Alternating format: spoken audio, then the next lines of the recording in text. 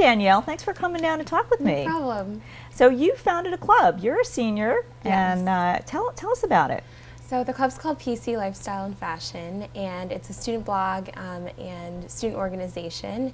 And we come together, talk about you know what's going on um, at PC, and we have a focus on uh, fashion, food, fitness, events, and activities around Rhode Island.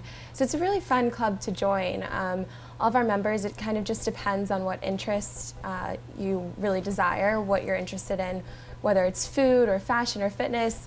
Um, and they get to write about really whatever they want and get to put posts on the blog. Um, so we have a blog, we have a Facebook page, and uh, we have primarily, primarily marketing majors who come um, and some art majors, but it's, it's really fun and our club has escalated over the past couple of years and we're officially a recognized club, so we're proud of our progress so far. So you're a club uh, at the School of Business, and I think you mentioned you have a lot of marketing majors. So talk a little bit about the connection between PC lifestyle and fashion and a business career. So we have our, our main focus is social media marketing and actually our vice president, she, uh, Kelly Schneider, she actually got a job with Alex and Ani. She's one of their social media marketing coordinators and um, it really helped her having experience doing something more along the professional lines um, when it comes to do it, to creating a social media page, doing the Tumblr posts and the Facebook posts, and she does that for Alex and Ani as well. You know, people wouldn't necessarily think that it would be part of the business school, but it is a lot of marketing that we do, and we are able to throw events. Um, which is, you know, for the PC Business School, and that's been great too. So, what? Tell us about some of the events you've had. Uh, I think one of our events that we sponsored, our main event uh, was in the fall, and it was a, at J. Crew. It was called a, a workwear event, and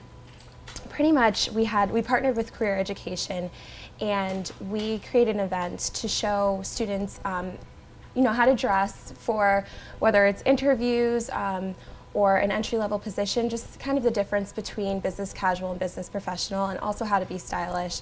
Um, but there's just so many different ways to dress now that it kind of, you know, people have a lot of questions, but it was a great event. Uh, you wind up at PC. Tell us how you came to start a club. I just started creating this blog and kind of focused it on, you know, thing, new things that were being built around PC, around Providence, and around Rhode Island that students would like. And after that, it just kind of escalated. Um, I had some friends who were interested, and some people started following the blog that I didn't think would start following. And um, that, you know, that fall, we just kind of said, you know, we should make this a club and have, you know, people write different posts about what's going on around PC. And now, um, you know, it started as a blog and we have a Facebook page. We have about 17,000 views on our blog, which is crazy because we only have 4,000 undergrads. So it's just has, has escalated so much and now we're a funded organization and, and we have a great exec board and passing it down now, but it's just been great and it's just been such a crazy experience how much our club has grown.